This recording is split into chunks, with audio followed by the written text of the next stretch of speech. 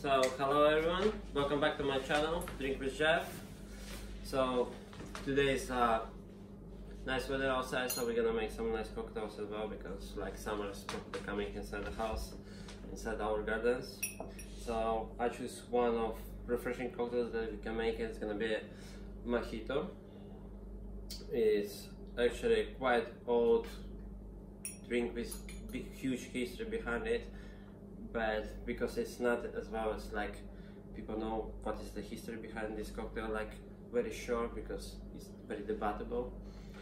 That's why this cocktail have like really old history but in old times everyone was drinking like the sailors and most of the people who was like using ships and everything they had the, the scurvy the disease and that's why they was drinking rum with lime juice and sugar just to prevent it to have some vitamin C inside your blood that you wouldn't get this old disease inside. So basically what is mojito? Mojito is rum based cocktail with sugar lime mint and it was made in Havana Cuba in but it didn't become popular straight away. Like there was the Hemingway, he was a reporter and writer, and first time he discovered it in the Cuba, and he basically in 1930 he make it like well known in around the world, and after it become really popular cocktail.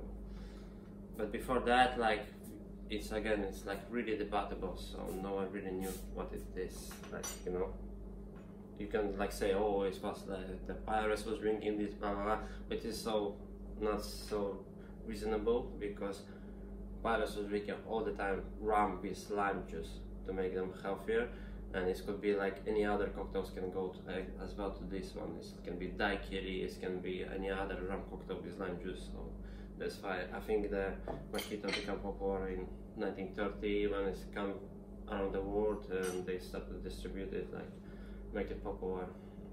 So let's start to make it properly. So what do you need for the mojito? First of all, you're gonna need lime juice. You can squeeze it, but I prefer to muddle the limes. So you're taking the limes, four pieces, four slices of uh, lime. You muddle them inside with your muddler. I have the bar spoon, that is amazing. So you muddle them inside you try to squeeze as much juice you want because like after the lime stage you're gonna be decoration in your drink. So you muddle them inside? Then you're adding I already pre-make the demerara sugar. It's basically the brown sugar. You can make it home. It's gonna be like 50 to 50 hot water. You stir it dilute it and it's gonna be the sugar it's easier to make it if you're gonna planning to drink one bottle you're gonna need it. So then you're adding the mint. Actually you're adding mint in the end. So lime juice is inside demerara is inside. A bit of rum it's gonna be like 50 mils of rum. I'm using the Bacardi's white rum everyone knows what is Bacardi is quite famous family it's like for seven generation this family is using this this brand. Now is this portfolio is holding like more than 200 different brands of rum. It's well known on the market. What else is like light white rum? Quite crispy nose is have the nose of fruits vanilla very easy drinkable. I actually like, I wouldn't say I'm a big fan of Bacardi, but I like it to have it in other cocktails as well. And this is like, you don't need to have super, super good rum. And this rum is really fitting really well with mojito, with its flavors. So then you're taking the mint leaves around like freshly plucked mint. You're using like around 10 leaves. You clap hand it to release the aromas around the glass. You put them inside then you're taking the ice so how do you make the crushed ice at home is there is three ways how to make it you can you make it you may shake it inside the inside the shaker. It's gonna take long, it's not going to be so good quality of the ice. Then you can use the blender and usually the blender is making like real dust. So it's not good as well because it's just gonna be dust. They're gonna stick to your blender and you cannot use it after. So the best way is just like take a bag, put inside the ice, the cube ice from the shop and then just smash it with the hammer or whatever you have heavy on top, like you know.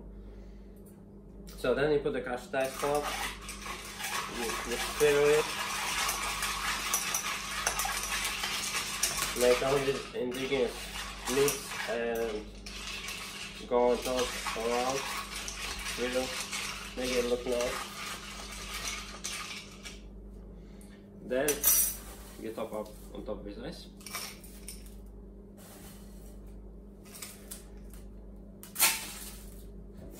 make it full. It's gonna be nice because like if you like to enjoy your cocktail, you're gonna have some time because like I don't like to put soda inside. If you're gonna put the soda inside, it, it's fine. Give some bubbles, but actually people putting soda inside because they want to have it so strong and sour.